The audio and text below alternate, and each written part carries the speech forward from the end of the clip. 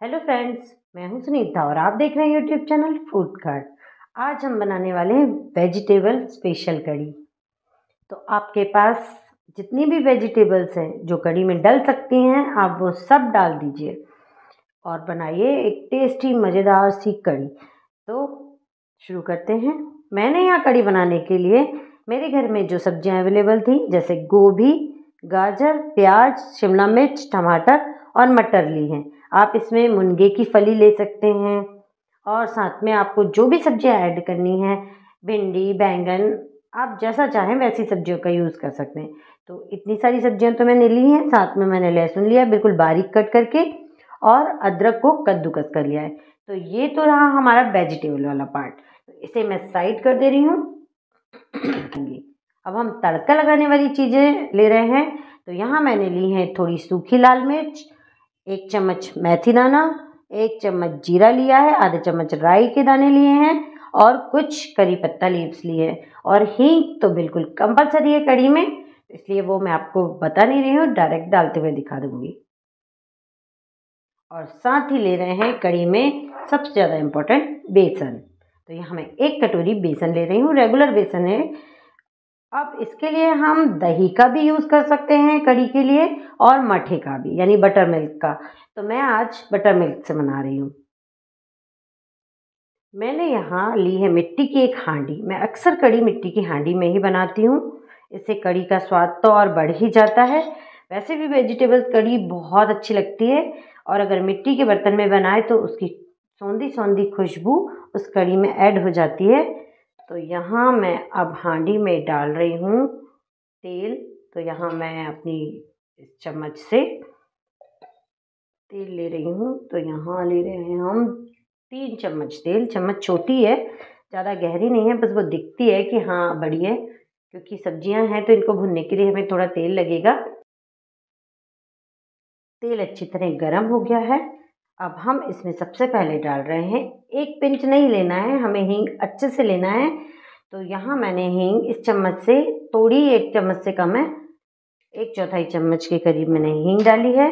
और अब मैं डाल रही हूँ राई और ये सारे सूखे मसाले। पहले ये जब अच्छे से चटक जाएँगे, तब हम इसमें वेजिटेबल्स डालेंगे। अब हमारे जब ये मसाले थोड़े भुन गए हैं, अब हम इसमें डाल रहे हैं कटा हुआ लहसुन लहसुन हल्का सा फ्राई हो जाए तो इसमें हम डाल दे रहे हैं अदरक।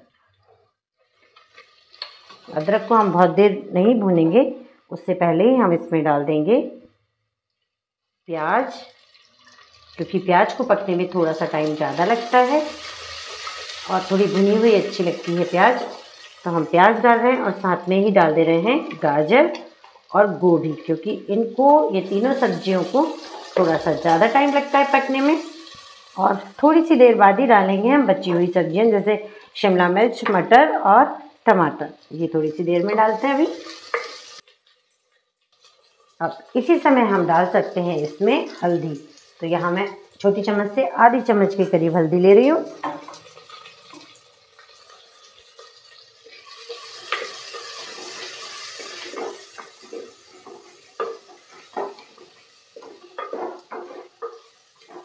सब्ज़ियाँ हमें बहुत ज़्यादा कुक नहीं करनी क्योंकि ये कड़ी के साथ पक जाएँगी।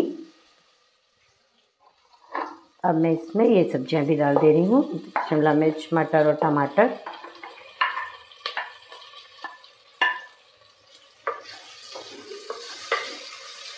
यहाँ मैं ले रही हूँ एक कटोरी बेसन। इसे हम एक बोल में डालेंगे और इसमें हम मठा थोड़ा थोड़ा करके डालेंगे। और एक विस्कर की हेल्प से इसे इस तरह से घोलते जाएँगे ताकि इसमें लम्ब ना रहें।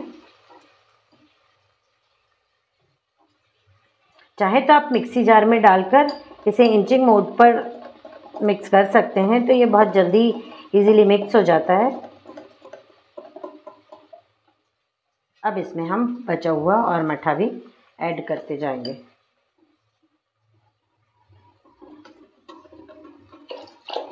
ये मिलाने के बाद आप एक बार या तो मठे को पहले टेस्ट कर लें कि बहुत खट्टा तो नहीं है। आपको कितनी खट्टी कड़ी पसंद है? कुछ लोग बहुत खट्टी कड़ी खाते हैं, कुछ लोग थोड़ी फीकी कड़ी खाते हैं, बहुत खट्टी पसंद नहीं करते हैं। तो आप उस हिसाब से, अपने टेस्ट के हिसाब से इसे मठा में पानी मिला लें दही में, जिसमें भी आप बना रहे हैं, उसमें पानी मिलाकर उसे थोड़ा सा फीका कर सकते हैं। तो देखिए, ये बहुत अच्छे से घुल गया है। अब हम इसे वेजिटेबल में डाल देंगे। तो मैं यहाँ थोड़ा सा खट्टा लग रहा है, मैंने टेस्ट किया तो इसमें थोड़ा सा पानी भी डालूँगी। तो अभी इसमें जगह नहीं है, इसलिए डायरेक्ट हम हांडी में ही पानी डाल लेंगे। तो देखिए वेजिटेबल हल्की सी इसमें पक गई है। ओवर कुक हमें करना नहीं है, क्योंकि हमें तो इसे कड़ी के साथ पकाना है। तो अब हमने हल्दी इसमें डाल चुके हैं। तो ये सीधे मठे वाला बेसन इसमें मिलाएँगे। और देखिए, अभी इसमें लगा हुआ है तो मैं इसमें और पानी ऐड कर दे रही हूँ। ये जाएगा इसमें और इतना पानी, देखिए हांडी फुल। और हल्दी हम मिला ही चुके हैं। अब इसमें मिलाएँगे हम नमक। नमक आप अपने टेस्ट के अकॉर्डिंग मिलाइए।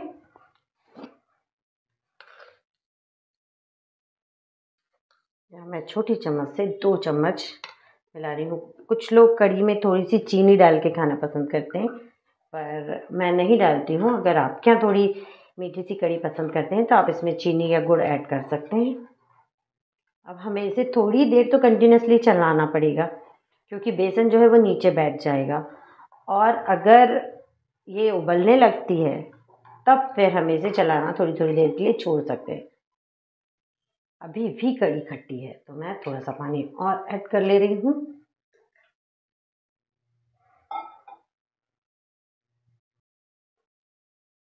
देखिए, कड़ी में अब अच्छे से उबाल आने लगा है तो अब हम इसे कंटिन्यूस नहीं चलाएँगे।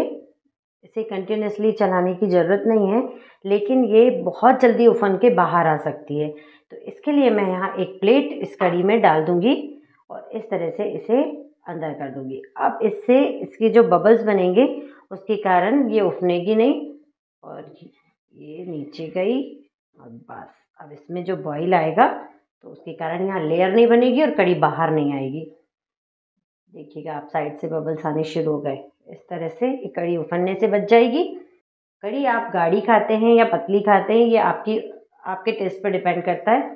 अगर आप गाढ़ी खाते हैं तो थोड़ा सा बेसन और ऐड कर लीजिए। और अगर पतली खाते हैं तो उतना ही बेसन काफ़ी है, क्योंकि सबके घर अपने अपने हिसाब से कड़ी बनती है, कोई गाढ़ी कड़ी खाता है, कोई पतली। तो यहाँ इस तरह की कड़ी तैयार होगी, हल्की सी गाढ़ी।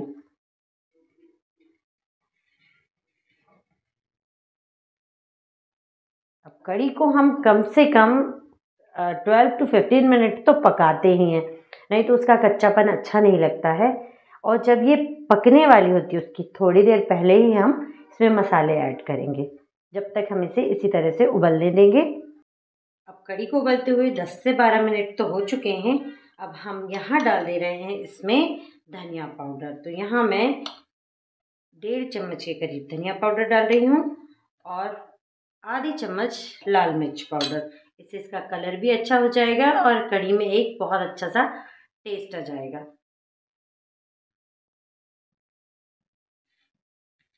मैं बीच बीच में कड़ी को चला भी रही थी, नहीं तो प्लेट जो है वो एक जगह सेट हो जाती है और फिर हमारी कड़ी लग सकती है, इसलिए ऐसे बीच बीच में आप भी हिला दीजिएगा।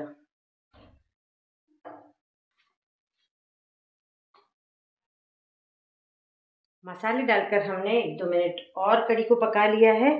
अब मैं गैस को कर दे रही हूँ बंद। अब ये मिट्टी का बर्तन है, इसलिए गैस बंद होने पर भी थोड़ी देर इस तरह से उबाल आते रहेगा इसमें। अब हम इसमें लास्ट में डाल दे रहे हैं हरी धनिया। बहुत ही टेस्टी हमारी कड़ी तैयार हो गई है। अब आप इसे गर्मा गर्म चावल के साथ या रोटी के साथ सर्व करके खा सकते हैं। तो आप भी इसे ज़रूर ट्राई करें। रेसिपी पसंद आए तो लाइक और शेयर करें। चैनल पर पहली बार आए हैं तो सब्सक्राइब करें।